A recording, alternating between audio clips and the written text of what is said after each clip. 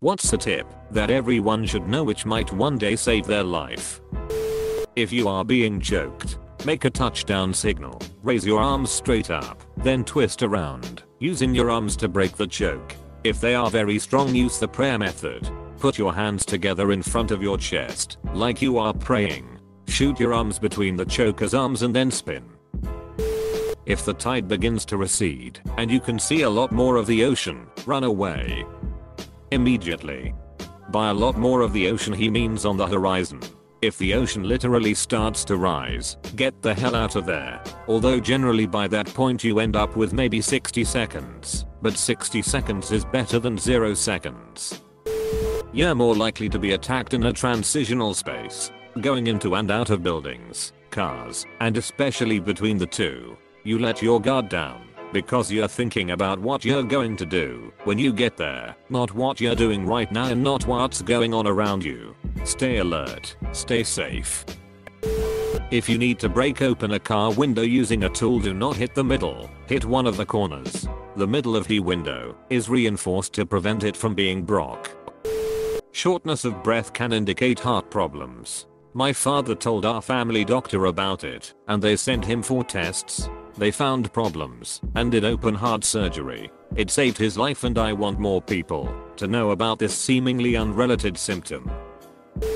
If you have been on the fence for a while about being too cold to continue in a backcountry situation, you are already too cold. Immediately make emergency efforts to get warm. Being hypothermic severely clouds your judgment.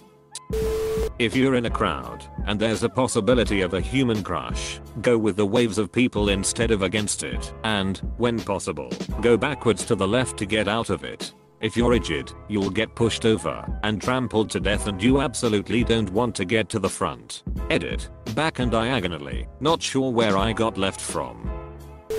If you're hiking slash doing anything else outdoors alone, tell someone where you're going and when you should be back. If you become incapacitated, this will increase survival chances by a lot. As a lifelong Floridian, I see this all the time here and elsewhere in the news. In the event of a disaster, stay the frick away from downed power lines. Don't walk along the street with them. Don't drive your car over them. Don't take selfies with them. They're thunder noodles and have been known to kill. If you have been stabbed, leave the sharp object in the wound until it can be treated by a professional.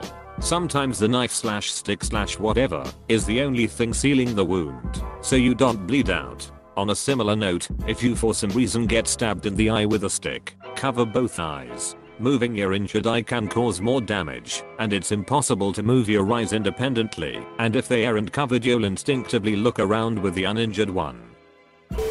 If you, you have a skin mole that has blurry edges, isn't symmetrical, is a weird shade of red, weeps fluids or acts like an open wound that won't heal, you might have skin cancer.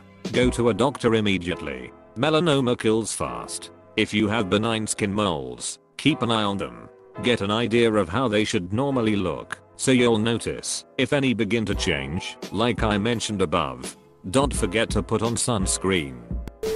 If you find yourself close to an electrical hazard, like a downed power line, keep your feet together and carefully hop away from the danger. The electric differential between your legs can fry you if the charge is high enough. Ever wonder why sometimes there are whole herds of animals that die from a single lightning strike?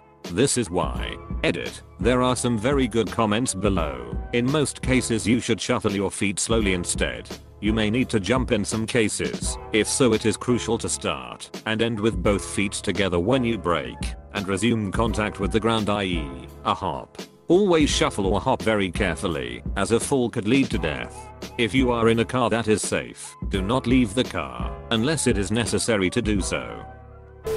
Never use brake cleaner before welding. If you get stabbed, do not pull it out. Since it's Christmas water your tree, or don't get a real one. On an airplane, if the oxygen masks drop put yours on first then put it on the kids. It's fine for them to get lightheaded. But if you do then you both die. When pumping fuel, if there is a fire do not pull the nozzle out. Just stop the flow, if possible and back away, and hit the fire suppression system. If you hydroplane do not make any sudden inputs just keep her straight and slowly lift off the throttle. Do not downshift to slow down on icy roads. If a dog is going to attack you do not run. Make yourself look as big as you can and yell and snarl like a maniac. Failing that kick that dog. You are smart. You have two arms, two legs and a mouth. A dog only has a mouth. You can defend yourself. Believe in yourself. Above all my biggest pieces of advice is do not panic. Keep your wits about you. You are so much stronger than you think. Just don't panic. Easier said than done I know, but it's true.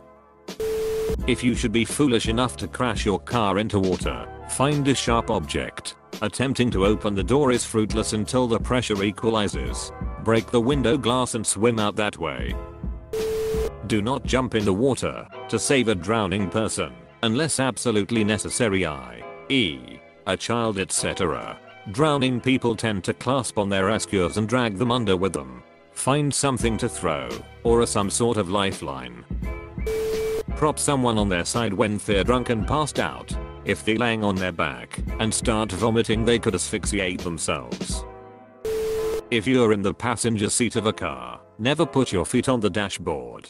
In the event that you're in a car accident, knee bones into your skull won't end well. Edit to at, yes please don't do this in the driver's seat either lol.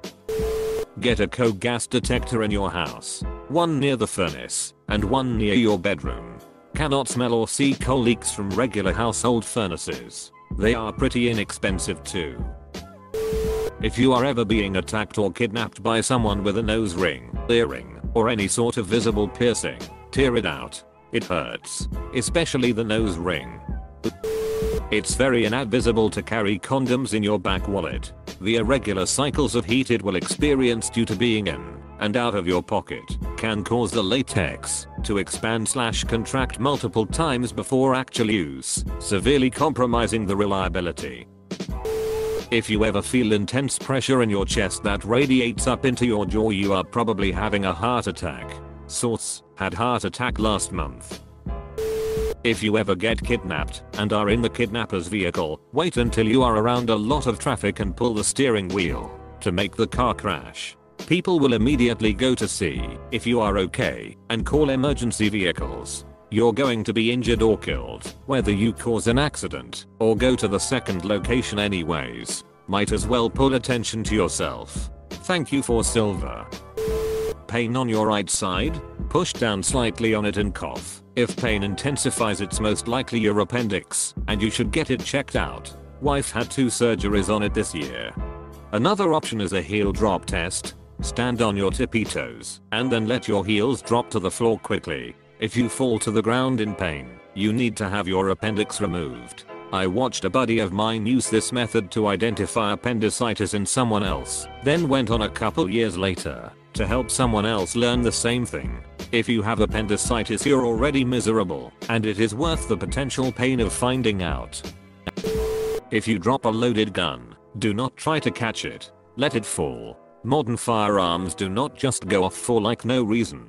Trying to catch it makes it easier to accidentally pull the trigger. Before people go off about antique guns and blah blah yada yada. Unless you are at the range, your antique needs to be in its case or you are an irresponsible gun owner. Modern firearms do not just fire off like that. Even Hi-Points. Have a glass breaker slash seatbelt cutter in your car. A lot of knives come with both on them and can be as cheap as $15 to $20. Better to have something you don't need than to need something you don't have. We had a sheriff come in to talk to us about active shooter situations. Going through that training taught me a ton, but the one piece of advice I got that stuck with me was have a plan and every day go through the plan in your head. This will help you to not panic if it actually happens. Never try to engage but if, God forbid, you must defend yourself then you swarm. Be savage and do not let up. Their due process was done when they decided to bring a gun into your building. Can't state enough how much they advise to never engage, but have a plan for everything. If you feel an earthquake start, and the shaking doesn't piddle out after 5 or 10 seconds, assume it will be big and take cover under something sturdy or on outside where there is no power lines or bits of building above your head. Hash edit because people are getting mad about the run outside part. That's the safest option. If you are right by the door and there is no adequate cover inside, and you have access to a clear space free of dangerous overhanging things. Whatever you do, don't stand in a doorway. That myth kills people. If duck and cover is the safer option, do that and go outside after the shaking stops. Don't try to walk in a strong earthquake. If you have balance issues, it messes up your equilibrium. Sometimes large earthquakes start out huge right away, and sometimes they wobble a bit before they hit a shoot strength. It depends on how far you are from the epicenter. If there was an earthquake at the beach you're on, and you see the water receding away, run to higher ground immediately, because a tsunami is coming.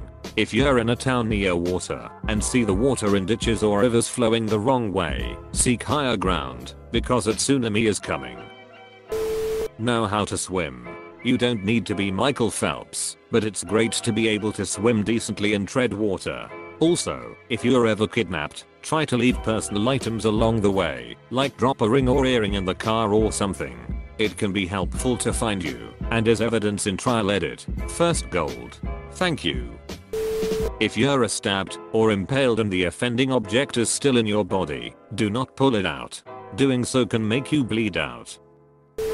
If you believe someone is in your home, whatever you do, don't turn on the lights. As much as you'd feel more comforted if the lights were on, you know your house better than anyone. You would have an easy time moving around your house, while the intruder would be a lot slower. If you are stuck in your car during a dire emergency, take the headrest off your seat, if applicable, and use it to smash the window.